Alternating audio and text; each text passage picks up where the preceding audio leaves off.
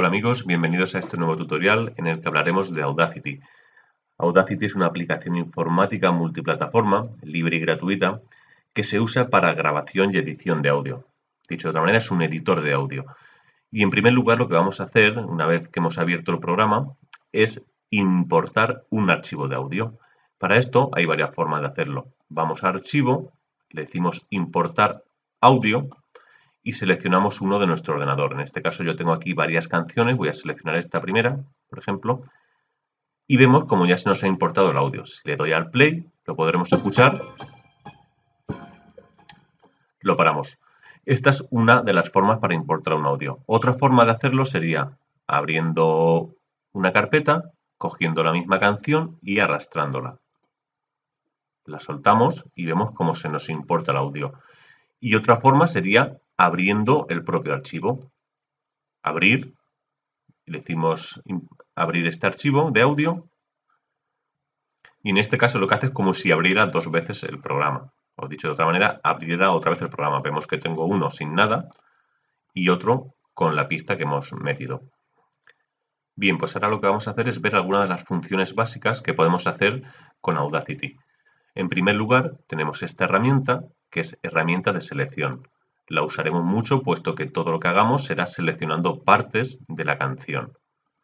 Tenemos esta herramienta que es acercar, donde ampliamos el espacio de trabajo donde aparecen las ondas y esto lo hacemos para ser más preciso.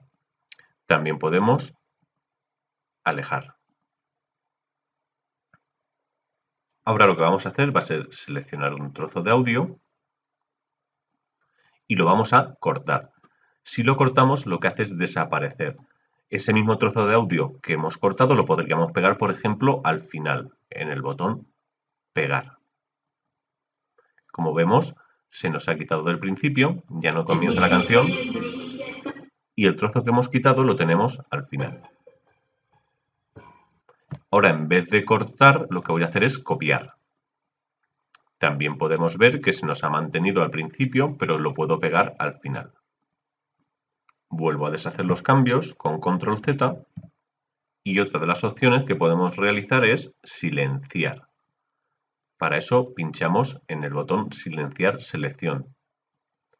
Como vemos la onda se nos ha eliminado, por lo tanto cuando llegue aquí el sonido no sonará. Vuelvo a deshacer los cambios, control Z y ahora lo que voy a hacer en vez de silenciar es recortar, que es distinto de cortar. Cuando le damos a recortar lo que hacemos es guardar solamente el trozo de audio seleccionado y eliminará el resto. Como vemos, se nos ha eliminado el resto, excepto el que está seleccionado. Vuelvo a deshacer los cambios y también quería deciros que también se puede copiar en otra pista. Por ejemplo, si yo selecciono un trozo, y le doy a copiar, al pinchar fuera, vemos que no hay nada seleccionado. Si yo ahora le doy a pegar, se nos crea una pista con lo que hemos copiado. Si lo hiciésemos cortando sería igual. ¿Cómo podría yo mover este trozo de audio? Para eso cogemos la herramienta de cambio de tiempo. Y ahora podríamos mover este trozo de audio para adelante y para atrás en el tiempo. Vuelvo las pistas a su estado original para seguir editando. Elimino la que hemos pegado. Y ahora vamos a ver cuál es la herramienta envolvente, que es este botón de aquí, con el cual podremos modificar la amplitud de onda. O dicho de otro modo, podremos modificar el volumen de un fragmento del audio. Para esto vemos que se nos ha añadido una línea azul arriba de la pista y abajo. Si yo cojo con estas dos flechitas hacia arriba y hacia abajo que se nos han marcado en el cursor y pincho, se nos crea un punto de enganche, otro punto, y ahora si pincho y no suelto podemos bajar la amplitud de onda de la canción. La ajustamos y como podemos comprobar, aquí baja el volumen. Cuando llegue aquí volverá a subir podemos crear cuantos puntos queramos.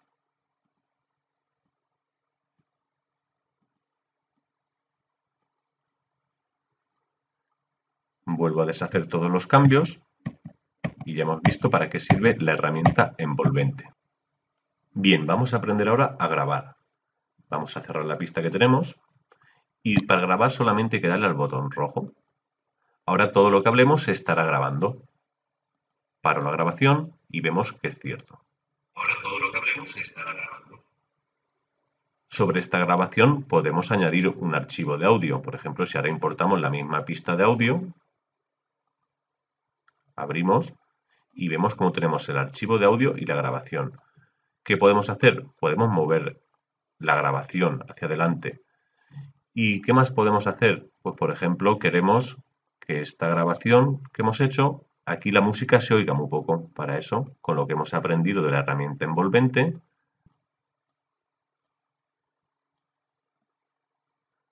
aquí podemos comprobar a simple vista cómo el volumen de la canción baja, porque lo hemos bajado nosotros, y en ese momento hemos dicho que suene lo que hemos grabado, que si quisiéramos lo podríamos mover hacia adelante, hacia detrás, etc. Eliminamos lo grabado, eliminamos la pista, abrimos otra vez la pista y ahora vamos a hacer que aparezca el audio progresivamente o se desvanezca progresivamente. Para eso tan solo vamos a coger un trozo de pista y le vamos a decir que nos guarde ese trocito de pista. Solamente la vamos a poner al principio, la vamos a mover un poco hacia adelante para poder seleccionarla y ahora seleccionamos un trozo y le decimos que aparezca progresivamente. Como vemos, la pista empieza desde muy flojito hasta llegar a su volumen normal. Para desvanecer, el proceso es el mismo. Seleccionamos un trozo de pista, le damos a efecto y le decimos desvanecer progresivamente.